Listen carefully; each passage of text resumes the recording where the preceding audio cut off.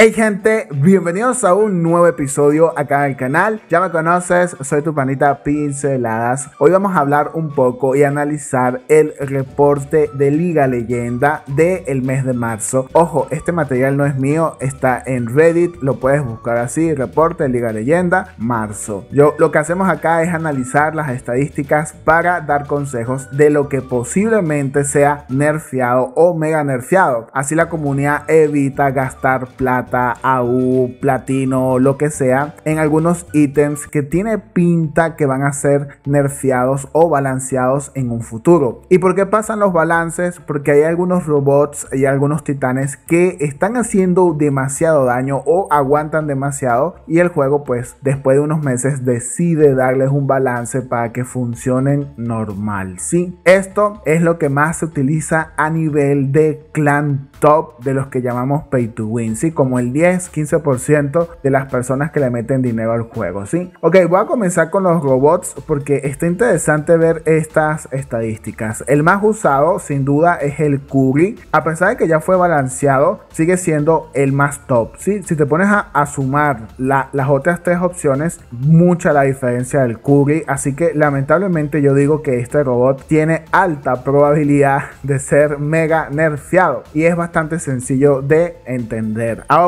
¿será que el nerfeo lo va a dejar inútil? Yo creo que no, porque esta clase de robot que ya hemos tenido, como el Curry que es meta, un buen tanque, todo va a depender del dron que le colocas después y las armas. Por el momento tendría yo mucho cuidado con esta opción. La segunda es el Chenlow. Y bueno, el Chenlow es bastante nuevo. Pero obviamente que va a ser también nerfeado en un futuro. Porque ya vivimos la meta del Scorpion. Y el Chenlow me gusta más como proyecto. Porque a pesar de que le den un balance. Que me imagino que le van a quizás a subir el tiempo de la habilidad, etcétera, así, y, le quitan durabilidad al escudo a X, etcétera. Pero la situación es que va a seguir siendo muy bueno, sí, como es el Scorpion, el Scorpion sigue siendo muy efectivo, así que el Chenlow yo lo tendría como una buena opción a futuro. La tercera opción más usada es el Dagon. Ahorita el Dagon está siendo muy utilizado. Inclusive le puedes colocar dos o tres módulos pasivos Fortifier y tiene un escudo a X sumamente bueno. Al menos que utilices escudos y pues sea muy fácil destruirlo, ¿sí? Pero esta opción también es una opción muy buena para invertir recursos porque con armas de 600 metros está siendo letal, ¿sí? Magnetar y Bleed o Blight, que son las tipo energía de 600 metros, están sumamente buena opción. Y acá de último lugar más o menos está el Chocochi, Lins y Mugi y el Crisis. Estas son las tres opciones, pues el Lins ya fue nerfeado, se sigue viendo muchísimo y el Ochocochi también fue nerfeado. Fíjate que está como a la par del Dagon porque sigue siendo muy efectivo. No sé, pero dudo mucho que le hagan un balance a estos robots porque ellos dependen demasiado de las armas que están de meta en este preciso momento. Sí, el Ochocochi con las eléctricas, el Lins con las sub el Imugi también va con eléctricas, así que hay que esperar qué sucede. Sí, yo los tendría como precaución. Pasamos a las armas pesadas. No hay sorpresa. La Subduer, mira la diferencia que hay, ¿sí? Es abismal en el uso. La segunda es la eléctrica de 100 metros, la Fembao. Aquí está como segunda opción. Y la Ultimate Avenger. Yo no tengo esta. Pero si te preguntas por qué está la Puncher aquí metida, es porque hay gente que está usando el Lynx con Puncher. Y funciona muy bien para cargar las naves de soporte. Entonces hay mucha gente por ahí usando ese combo. Y por aquí tenemos a la Reaper todavía. Fíjate que por acá está como una posición eh, cercana a la última, la, la Redeemer, ¿sí? Pero yo tendría demasiado cuidado con la Subware y la eléctrica. Son las que más están haciendo daño y son las que más la gente está usando. Estas dos sin duda van a ser balanceadas y creo que la Subware va a quedar muy similar a la Damper, ¿sí? Ya sabemos que la, la Damper, que a la mediana de la misma familia, fue bastante nerfeada incluso pasó de 600 metros el alcance a 500, así que hay que tener precaución con esta arma a futuro, ¿sí? Acá tenemos el anclaje mediano y el anclaje mediano tampoco es sorpresa que la gente esté usando Laming y la Laming es la eléctrica mediana. ¿Por qué no es sorpresa? Porque el Low es el combo predilecto. Esta arma eh, creo que también va a ser balanceada y bastante, pero es un arma de corta distancia. Va a seguir siendo como una sónica ah, en el futuro funcional, pero solamente con robots que sean de tipo emboscada, ¿sí? Tipo Chenlow y el tipo Scorpion o bueno, el Revenant también puede ser que utilicen las eléctricas, ¿no? Bueno, la cuestión es que esta opción hay que tener mucho cuidado. Aquí está la Ultimate Corona, pero según el juego ellos no balancean ni a la Corona ni a la Orcan Ultimate. Fíjate que en esta posición casi todo el mundo está usando Ultimate, Ultimate, Ultimate. Por acá, casi que de último, vemos la Hazard, que es la arma de energía de 600 metros, que es muy buena opción, pero está en una posición lejos. Dudo mucho que sea tocada en el futuro. Nos pasamos al anclaje ligero y otra vez están las eléctricas. Y acá no es sorpresa porque hay mucha gente que está usando esto en los Dagon, ¿sí? Están haciendo mucho daño. Está la Bleed o la Blight de segunda posición y la Magneta de tercera, ¿sí? La Magneta se ha mantenido los últimos meses en una muy buena posición y es debido al Dagon, ¿sí? Estas armas ligeras cuando son 6 como en el Dagon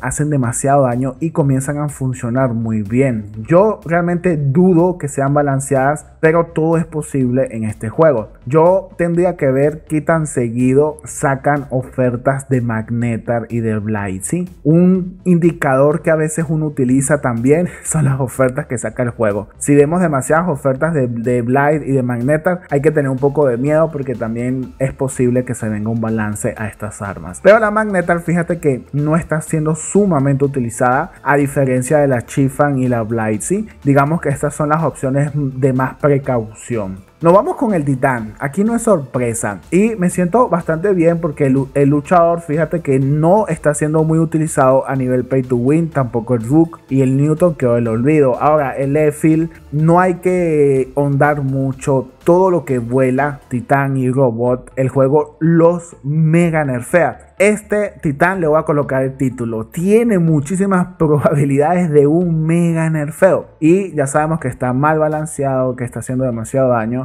etc. Y no es sorpresa, ¿sí? Es como el Newton, no es sorpresa. Es más, el Newton era castroso y ahora esta vaina es igual de castroso. Así que no es sorpresa que esto sea mega balanceado. Déjame tu opinión acerca del luchador. Yo tenía miedo, pero al ver estas estadísticas digo, bueno, tampoco está siendo utilizado mucho a nivel pay to win de clanes y eso pues me alivia porque yo ejemplo si soy de los que utilizo mi titán que me gusta y es el luchador, ¿sí?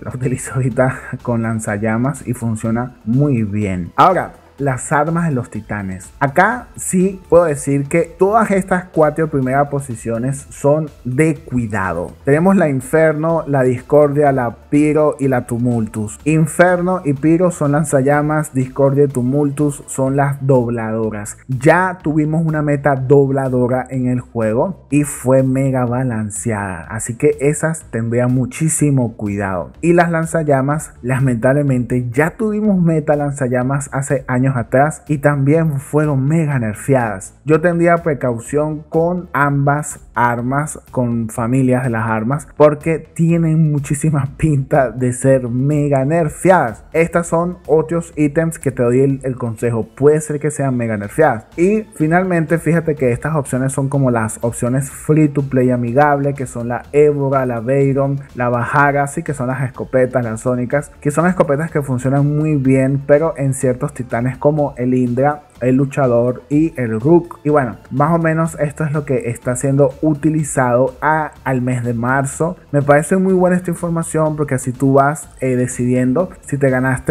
alguno de estos ítems, decides tú mismo arriesgarte en subirlos de nivel. Yo te diría que tengas precaución con esos ítems que son en el top, ¿sí? Los que están en la primera posición como los más usados, ten demasiada precaución porque lo más probable es que sean muy nerfeados. Se les quiere mi espero que la sigan pasando muy bien y déjenme en los comentarios su opinión acerca de este reporte de lo más utilizado en Liga Leyenda. Bye bye.